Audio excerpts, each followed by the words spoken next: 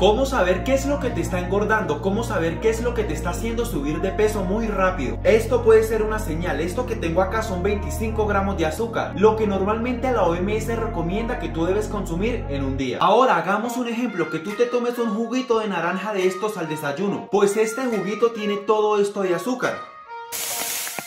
Y dos horas después viene tu media mañana y tú decides comerte un paquete de galletas. Y esto contiene todo esto de azúcar. Tres horas más adelante llega tu hora de almuerzo y tú cambias el agua por una bebida carbonatada como esta y esto contiene todo esto de azúcar. Y llega la media tarde y te ataca la ansiedad y tú decides ir a la tienda por un paquetico de chicles y te comes entre dos o tres y todo eso contiene todo esto de azúcar.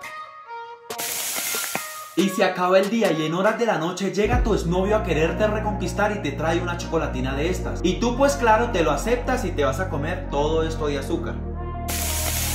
Y dos semanas después tú te estás preguntando por qué te subes de peso muy rápido, por qué te estás engordando muy rápido. Pues claro, mira tú la diferencia. Es esto lo que te debes comer y mira todo lo que te estás embutiendo. Soy el instructor Miguel y si quieres aprender a controlar las porciones de tu comida para que no se te engorde más la panza, te espero en mi perfil. Chao, chao.